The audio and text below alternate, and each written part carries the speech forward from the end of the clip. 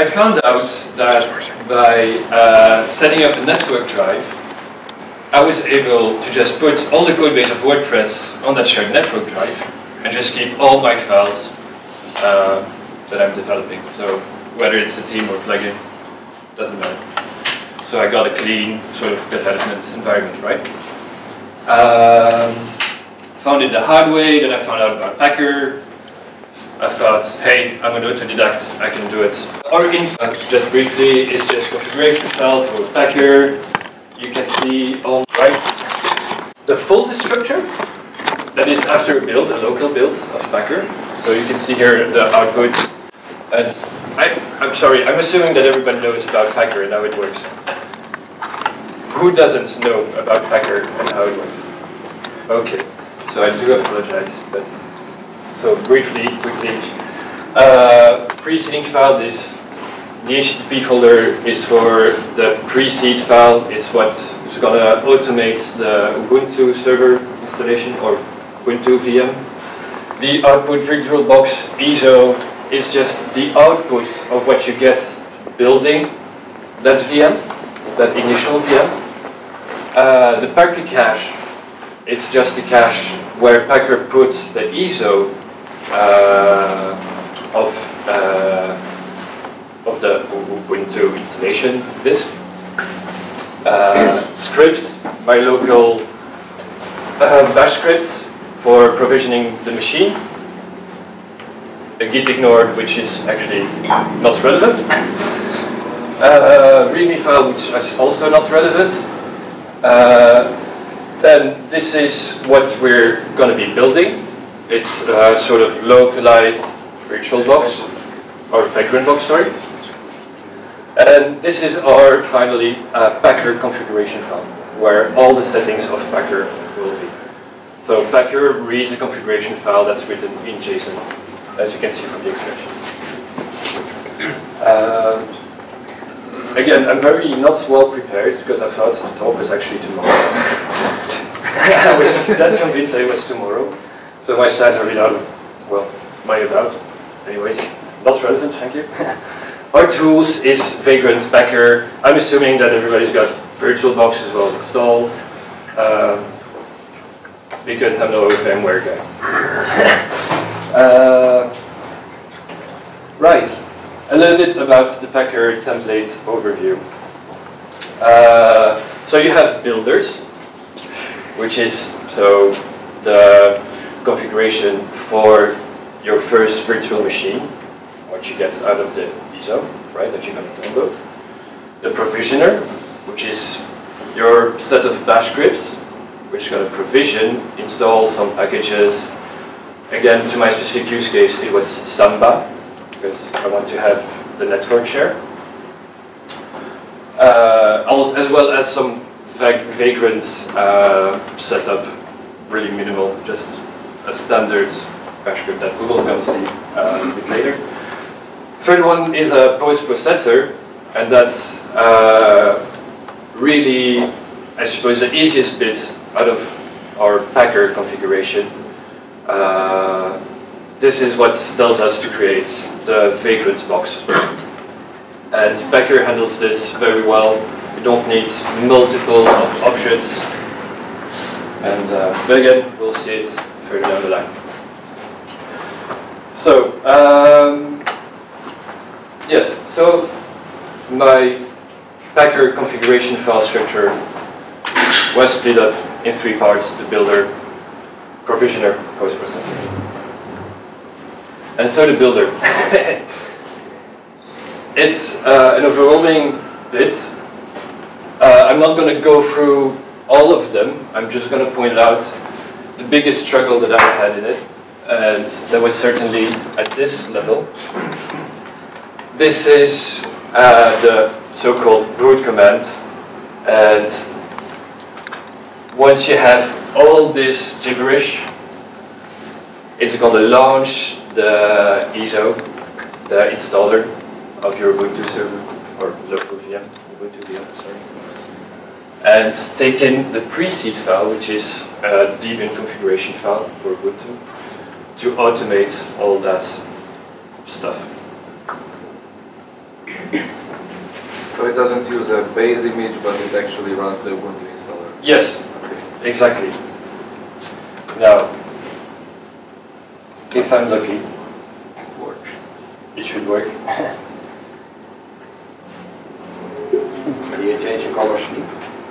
Why It's not yes? really readable. Oh, I, I was sure about that. Sorry. Hard to TSA. Uh, yeah. Oh, getting better. I see the scheme. Is this better? Yeah, yeah. Excellent. Oh. Windows has colors? Surprisingly. If it says link away, yes. Yeah, blue, blue thing. So now I'm just going to launch quickly uh, a command to build it. Uh, and I'm going to talk through the first bit of my configuration file, which was the builder and the things that was um, paid at PITA, say properly. Uh, so.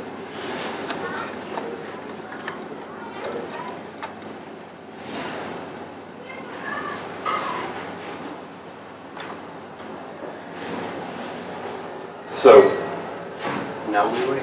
now we wait. Uh, but sorry, Packer now is going to first go for the for the builder uh, part of my uh, configuration file, my Packer configuration file, and just do this all by itself as by magic. And this was this S, S enter something? Yeah. Yes, Wow. and Here's the thing, right? This boot command is certainly and thankfully on uh, in the Packer documentation. uh, they set an example on how to go about it. Uh, now, again, I wanted my box to be sort of like localized, uh, so I did try to set up my keyboard already. I have an English computer that runs unfortunately Windows. Um, so I started by setting those keyboard configuration. I found it very hard to find. I had to Google quite a lot. So my tools is not only Packer and Vagrants, but it's also ultimately Google. um, like I said, the pre-seed file is here taken over in this bit. Packer is going to start some sort of server and sends that uh, pre-seed file to installation uh, to the VM. And this is what a pre-seed file looks like. I've put the reference here because by magic, when you go to that link, you'll have actually already a sort of like personalized pre-seed file. So you don't have to spend too much time with it. Uh, but again, I want it to be localized. So I spent quite a lot of time setting up that keyboard that ultimately I found out wasn't really taken into account, weirdly enough. Uh, but most importantly, the mirror settings. I'm obviously, well, not obviously, I'm living in Amsterdam, which is in the Netherlands. Uh, I could have just left this bit to the default and it's going to just get to the universal, I would say, uh, or worldwide uh, Ubuntu registry to get packages. But I felt it was just a bit more quicker to just use the Dutch mirror. And so this is basically why here you see nl.archive. this is what it's going to exactly do that. I also set here uh, my time locally. Uh, maybe people would say there's no really use to do it right now, but might as well just get on with it. And uh, all the primarily everything is really much default of what you get. uh, when you go to the link that I mentioned earlier. Uh, but now, the, I suppose one of the most important parts is here setting up the first uh, user account. Because again, we're going to make a Vagrant box, uh, and it's, all, it's just going to be always local and never leave, you know, and you never leave my local computer. We're going to work very securely by just setting up Vagrant as a default user and Vagrant as a password. And it's going to help us all along up till making our box. Um, package selection is also, I would say, an important bit. Uh, because right off the bat, after the installation or after the builder's part of our configuration file is done, you know, the machine's going to reboot, etc. So we already want OpenSSH, or sorry, SSH to be available to us uh, for the provisioning part. So we already install SSH, build essential because that's always useful. So that's pretty much all the, I would say, default developer tools. Uh, libSSL, I'm not sure anymore why I put it in there, but I put it in there. And DKMS. DKMS, why? Uh, we're using VirtualBox as a virtual machine. VirtualBox has this thing called uh, Virtual Guest Additions, which is a bunch of drivers for a virtual machine, but that's specifically for VirtualBox, right? And this is going to help us just install it without any problem. I already defined it here as opposed to just defining it uh, in my provisioning scripts as well just for and just to be sure that it's already there once that's uh, the virtual guest additions uh, are, set, are being set up by our provisioning scripts.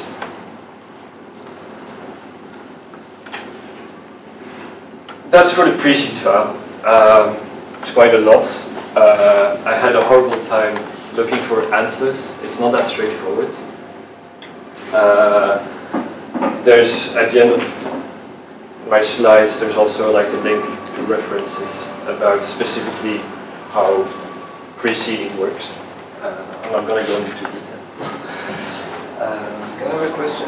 What, yes. What does this preseed file configure exactly? Is this some configuration for the Ubuntu installer or for Packer or? Yes, uh, for the Ubuntu installer. Okay. So this is what uh, the first time that I launched it, you'd see that VirtualBox uh, display pop up and you would see all those things. This is exactly what the pre-seed file is about. Good.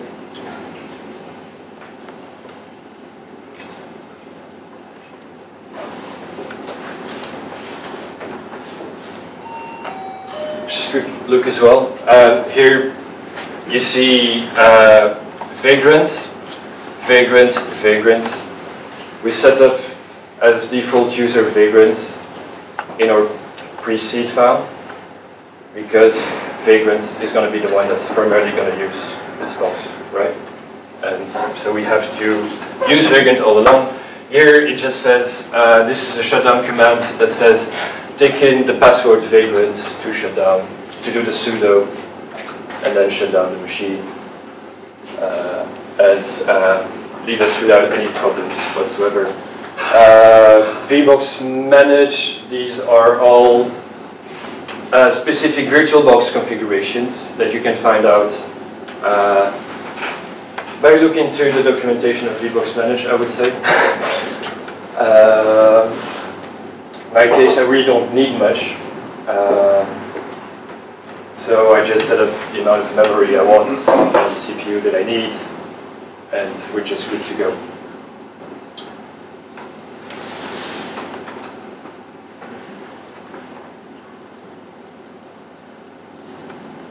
Once that is done, the building step, so our ISO box is now already way beyond the building uh, step. Packer is going to default, it's not going to default, just going to switch over to the third, to the second part, sorry, which is the provisioning. Like I said earlier, provisioning is just uh, a set of uh, provisioning scripts, bash scripts, and uh, it follows a certain order. Well, not a certain order, but just exactly the order that you declared. Uh, there as well is some sort of convention. When you look out, uh, when you look for other Packer configurations on GitHub or wherever, uh, you'd see that uh, most of the time the provisioning files are separated in different smaller files. Um, this is also where uh, you want to put any other default packages or programs or whatnot uh, that you want your vagrant box to have uh, in the end. So again, in my case, it was Samba. I would personally recommend when you have uh, when you have when, when you need a program that uh, takes uh, longer than two lines to uh, configure and install, I would just put it in a separate script and then call it from uh, from your uh, script array. So that you just have a concise script and you know what it does, and eventually you can even just reuse it somewhere else if need be.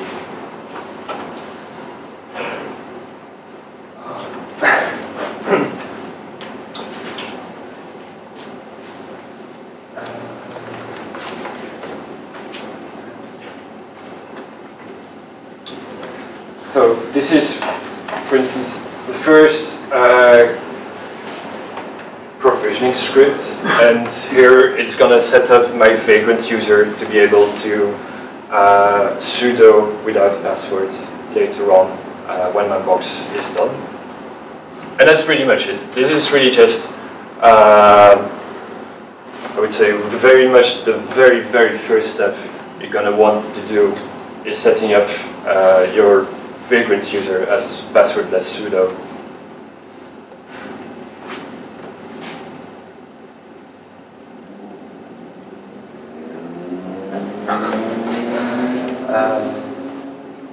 Then all along, uh, let's go back to the array. So all along here, uh, I set up a Samba script to install Samba. Uh, the, my Samba file was apparently more than two lines. So again, uh, I would recommend if a program that you install is longer than just two lines, uh, just put it in a, in a separate script and it just makes sense to me. There's no other reason why you would want to do that. Uh, very important part is the vagrant uh, script. And this is going to set uh, the first insecure vagrant key. So when you boot up Vagrant, usually what it does, uh, if you leave all the defaults of that configuration, etc., It's going to change that uh, insecure private key by another random key. But for that, it needs to have it available from the get-go. Uh, the box needs to have it available uh, inside of it. So this is where we do all the magic.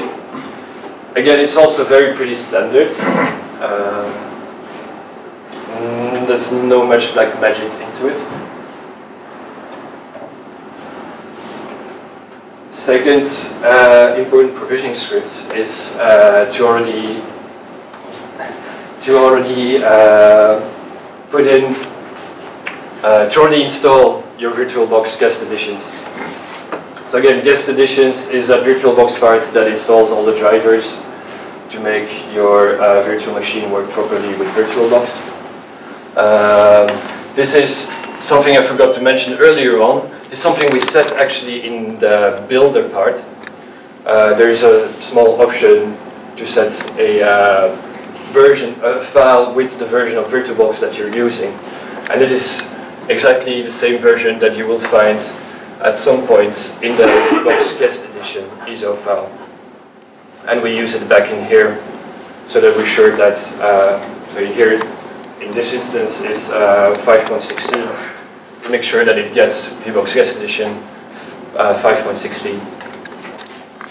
And once uh, you will uh, add your box and launch it, if you use something like uh, the Vagrant for, uh, plugin for uh, VB guests, automatically, automatically sorry, updates the virtual guest additions, you would say it's just already at the latest and you don't have to new. Lastly, the third part, oops.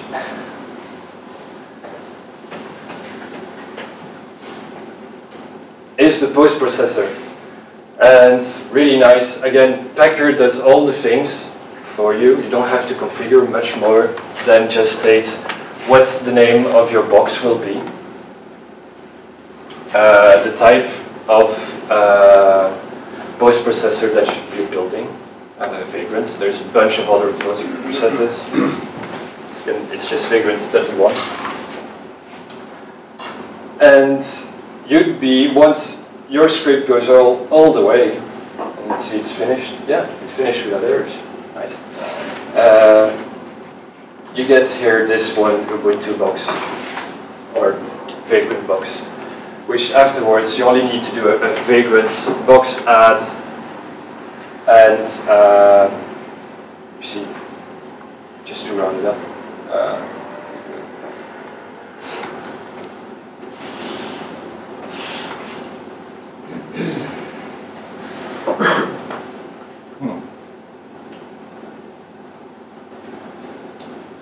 give it a name, let's say. Uh,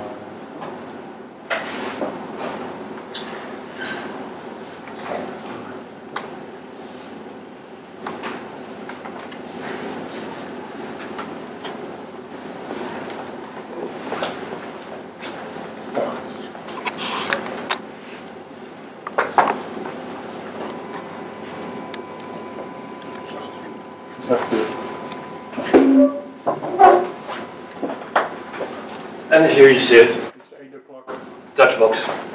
And uh, so, yeah, uh, any question? I have a question. Why would you use Packer?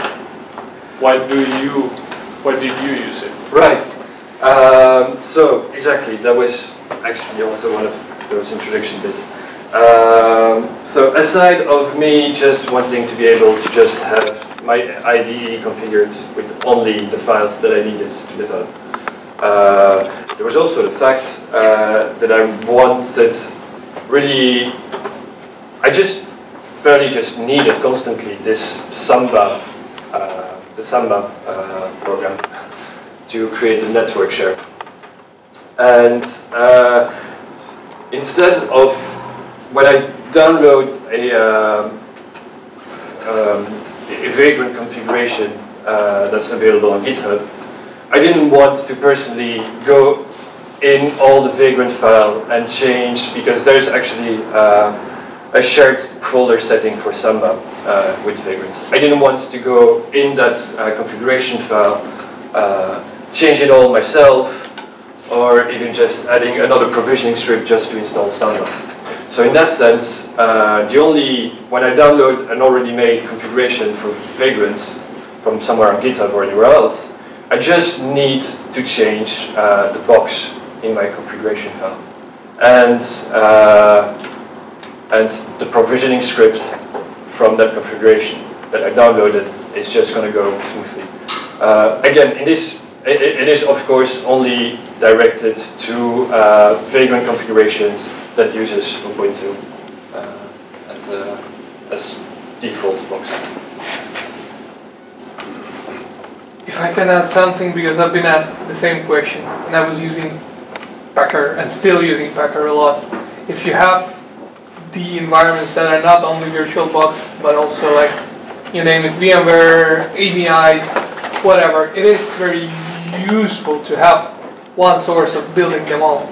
If you need to produce the same images but for different virtualization technologies, whatever, you use the same provisioners, not mandatory bash them, you scared like, you know, obviously there are a lot of other things, Yeah, Ansible, whatever. So if you have your whatever deployments happening and you wanna, you know, pipeline streamline it to build whatever images. Yes, certainly, certainly. That is also useful. Certainly, This was just, you know, right, the example about one of the boxes, so. Can you describe the debug process? Because uh, now it looks like uh, the whole process can be quite painful when you when something goes wrong. Yes, It is. it is. It is very much. um, and that's actually quite important to mention. Building an Oracle stack. Um, so the way I set up my bash scripts, I always,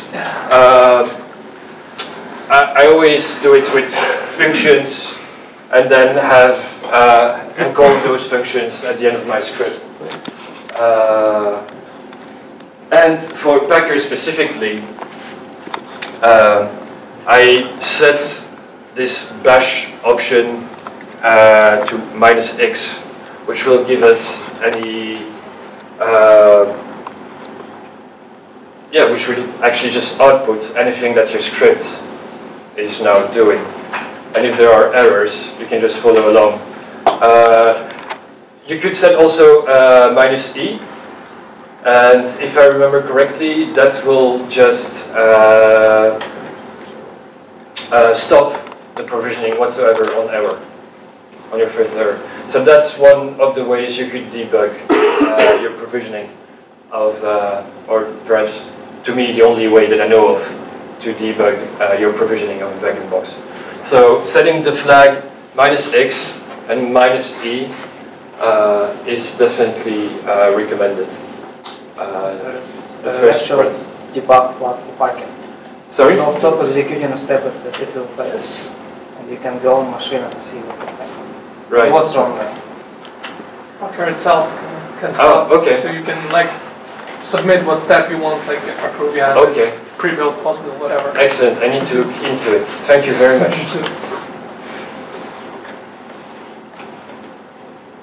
I was, I was going to ask about the use case, but you've already, you've already covered that. Uh, it you know, give me a flavour for, for how you've used Packer, which is nice, because I've been looking at it a couple of times and thinking, should I go that route? Um, and I'm still, in my case, I'm still, there's quite a lot of work to what you've done to, to build it.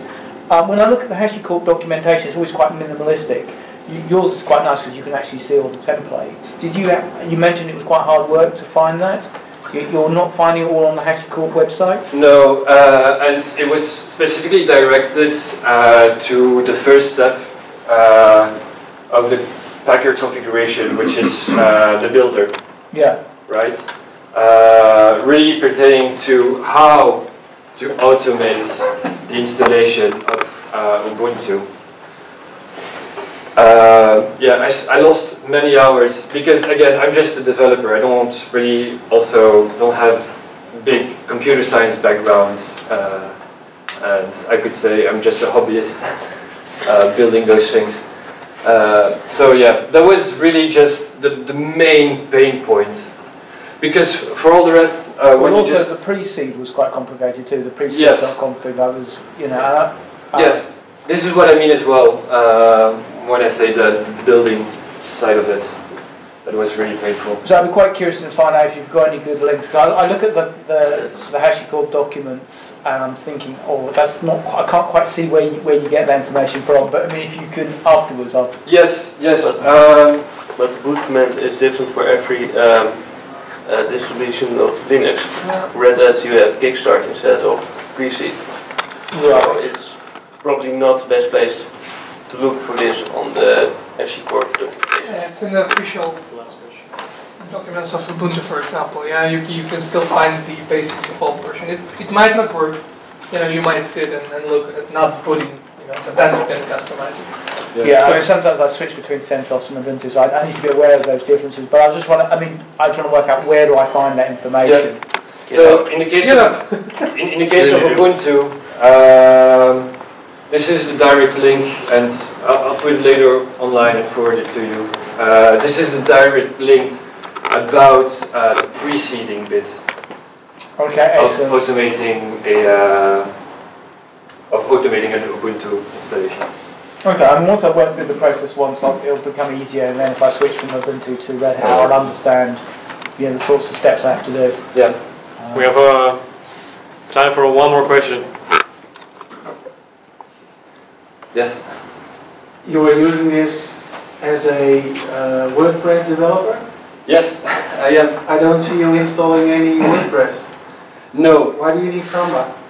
because again, it's uh, for the for the IDE part of my use case, where putting uh, putting the WordPress files in a separate directory than where Apache is hosting the website or Nginx is hosting the website. I get all the WordPress code base in, integrated in my IDE. Okay. So this is, yeah, this is very, very specific. And I don't put it uh, straight away in, in my uh, Packer build because uh, I want my box to be, I would say, portable.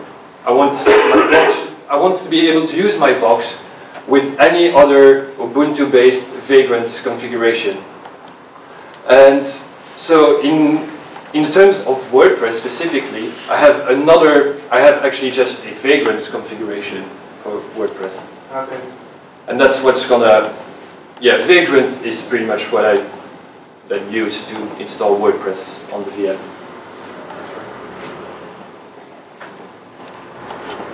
One quick question. God damn it. Did you consider using Docker for this instead of uh, Vagrant? Yes, but I started, uh, but when I started with this thing, with all of this, uh, Docker was not yet existing. Well, Docker machine was not yet there.